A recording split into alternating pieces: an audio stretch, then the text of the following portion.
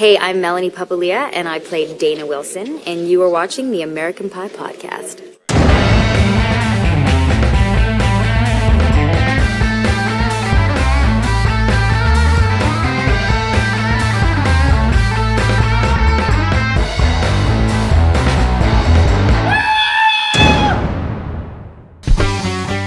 I've been an actress since I was um, 16. I started taking lessons, so I guess eight years. Paps, Melanie, Papalia from Canada.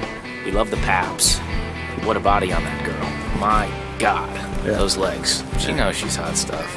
Is this the first movie that you had an oral sex scene in? My left! Yes. My biggest concern was Getting a boner.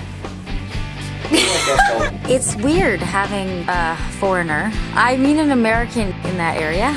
Melanie does partake in uh, the tongue tornado, Was that the tongue tornado?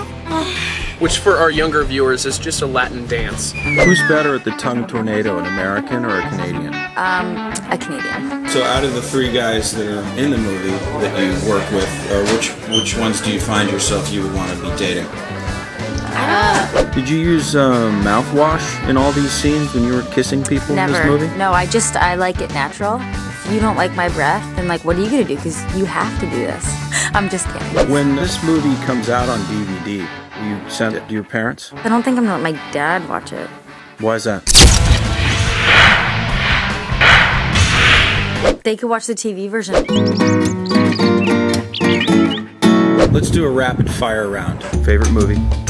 Uh, Shawshank Redemption. Favorite actor? Uh, Sean Penn. Favorite actress? Meryl Streep. Favorite comedy? Anything with that Jane Lynch lady. Favorite clothing designer? These are hard Favorite questions. Audi convertible. Favorite food? Mexican. What happens when you shoot electrons into uranium?